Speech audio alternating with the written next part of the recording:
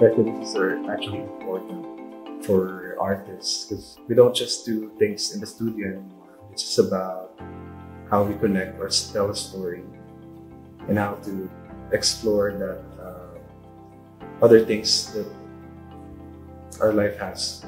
Yeah.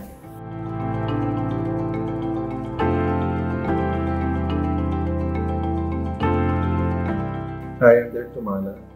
I'm currently doing my artist residency at the Manila Observatory, initiated by Art Fair Philippines. Manila Observatory was called uh, Philippine Weather Bureau which is now Pag-asa.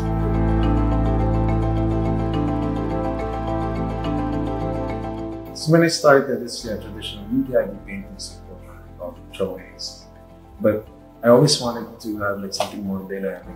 So I uh, explore doing video work and other things like digital or web-based and that's not drawing or painting. So not like totally like I hate it, but it's just trying to explore more how I can actually make my work more interesting. Or I want to explore more on not just media based, but also essence of doing art itself. ever since I was a kid, I was you know interested in science, and I also considered you know doing science during college. I ended up in art school, which is also my interest. So I think after our art school, or you know, trying to uh, do both of those interests, like science and art together. And then I saw this, uh, you know, traveling around. I saw these uh, works that are actually exploring those, and it you know really sparks my mind to actually if I can uh, do that as well, and then like, combining art and science is very interesting for me, and I think it's exciting in a way. Because yeah, those are those are both my interests, and, and it started from you know just trying to answer a question, being curious all the time. I always wanted to have like an art science residency here in Manila, which could, I think this is the first time that they actually have this kind.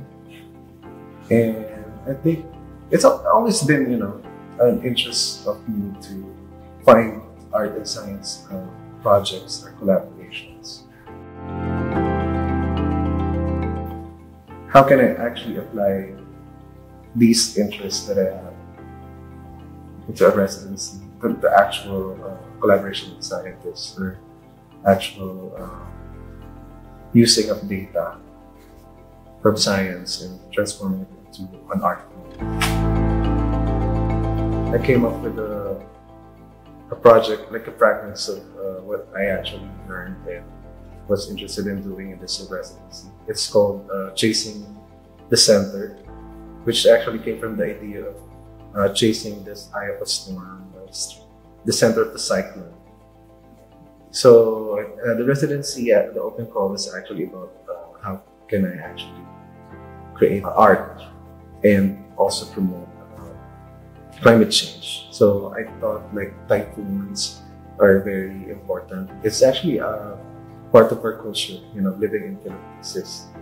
You know, it's not just something that happens all the time. It's part of our lives. And I think what most people don't actually get is, you know, this is part of our culture.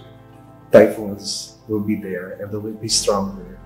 It's gonna be it can happen all the time. So I think it's I think for me it's really important to focus on that and try to make sense of you know how how can I actually present science or the science part of it and also the art part of it and try to you know connect those together and hopefully make sense or you know just to manifest it into small projects like what I'm doing for chasing the sun.